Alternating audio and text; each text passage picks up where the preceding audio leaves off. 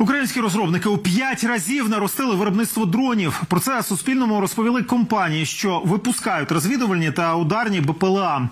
Кількість виробників теж зросла, але дронів фронту і досі не вистачає. За підрахунками голови Держспецзв'язку, лише малих розвідувальних дронів воїнам потрібно три тисячі на місяць. Наша Каріна Бугаченка побувала в цеху, де створюються розвідувальні дрони, на полігоні, де випробовують ударні, та дослідила наскільки Україна може налагодити стале виробництво без сторонньої допомоги. Деталі далі в матеріалі.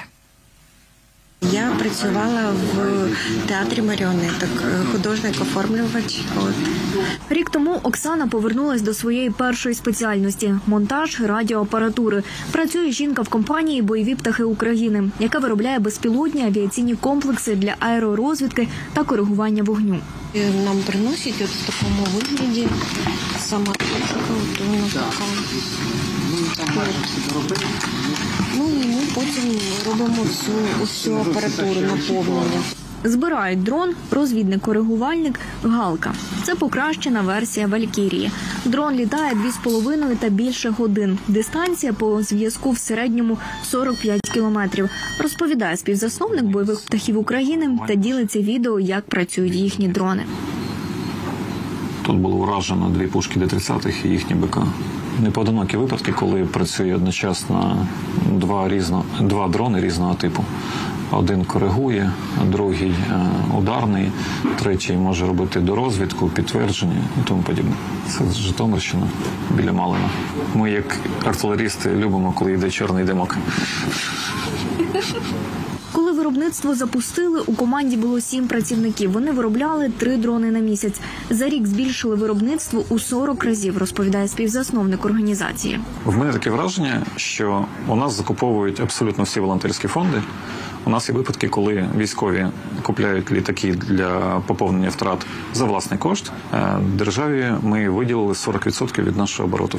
Більше половини деталей українські. Решту докуповують у Німеччині, Польщі, Китаї. Дмитро каже, треба, щоб в Україні виготовляли всі комплектуючі. Це гарантія того, що не буде проблем із постачанням. Більшість плат вже виготовляється в Україні. Зв'язок виготовляється в Україні. Ну, самі дрони виготовляються як форма тушка. Тобто у нас залишилось не так багато. Пропелери, двигуни, регулятори, польотні контролери вже виготовляються в Україні. Є дуже багато речей, які вже ми виготовляємо в Україні більш якісно, я вам скажу, більш стабільні. Дрони розхідний матеріал. Щодня на фронті їх втрачають близько 300-400, розповідала раніше Суспільному керівниця центру підтримки аеророзвідки Марія Берлінська. Це підтверджує і голова Держспецзв'язку Юрій Щеголь. Е, їх завжди буде не вистачати в тій кількості, щоб його її можна було піти взяти з полички, тому що інтенсивність радіоелектронної боротьби е, з боку нашого ворога надзвичайно висока. Якщо ми говоримо про малі розвідувальні дрони, їх потрібно десь порядка трьох тисяч на місяць. На сьогодні ми забезпечуємо близько півтора. е, Півтора тисяч і найближчими місяцями ми цю потребу точно закриємо. Десь я думаю, вересень, жовтень буде якраз в тій кількості, яка яка необхідна для того, щоб це був постійний конвейер. Замовлення на цю техніку збирає проект Армія дронів. Програма, яка об'єднує виробників, генштаб, Міністерство оборони, Мінцифри і Держспецзв'язку. Цього року від військових отримали замовлення на 100 тисяч ударних дронів. Придбали поки що 12 тисяч. Юрій Щеголь каже, що до кінця року планують замовлення виконати. Процес розповідає повільний, бо треба було вирішити бюрократичні питання. Усі максимально блокери, які не дозволя- не дозволяли швидке виробництво, ми зняли. І на сьогодні на- наше основне завдання це вливати кошти. Е, 40 мільярдів це надзвичайно велика цифра для е, українського. Це рівно на 40 мільярдів більше ніж було минулого року, коли було приблизно нуль. Зараз дрони в Україні виготовляють 200 компаній. Рік тому було 30, каже Юрій Щеголь. Влад керівник виробництва однієї з них. Виконати державне замовлення у такі строки каже складно. З питань безпеки не показуємо обличчя. Е, Всі наші закупівельники, які офіційно у виробників закуповують дрони, мають закрити контракт до 31 грудня.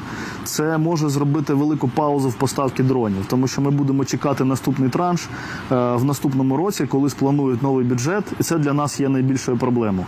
В усьому іншому е, в нас є дуже велика підтримка держави. Дрони каже Влад, продають і волонтерам, які докуповують те, що не може забезпечити держава. Щось неймовірне, ці суми, це а При тому, що вони перебільшили Дмитро Козацький у день нашої зустрічі закриває свій перший благодійний збір на безпілотний авіаційний комплекс Р-18 для бригади наступу Рубіж.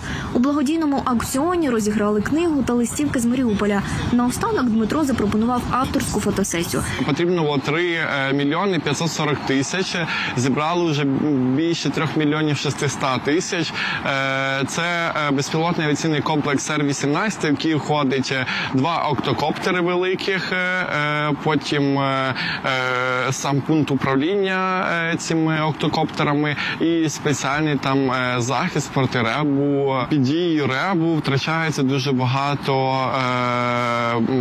різних коптерів, дронів, і це якраз таки не тому, що наші військовослужбовці якісь там непрофесійні або погано керують, а- це тому, що це специфіка війни така, і це нормально, коли вони втрачаються. А це вже навчання військовослужбовців на Р-18. З безпекових причин не показуємо обличчя. Інколи доводиться приїжджати на фронт до хлопців, щоб з ними відпрацювати або щось нове, або показати щось нове, або додати їм щось нове. От. Ну, це програма Work and Travel, як ми називаємо. Да. Усі дрони сертифіковані міністерством оборони, орієнтовані на експорт після перемоги України. Їх зможуть вільно продавати в усіх країнах НАТО. Українськими розвідувальними дронами, ударними вже цікавляться іноземні партнери, розповів Юрій Щеголь. Але розумію, що спочатку перемога, потім експорт і відкриття економіки. Каріна Бугайченко, Дмитро Суслов та Валерій Ратушнюк. Суспільне новини.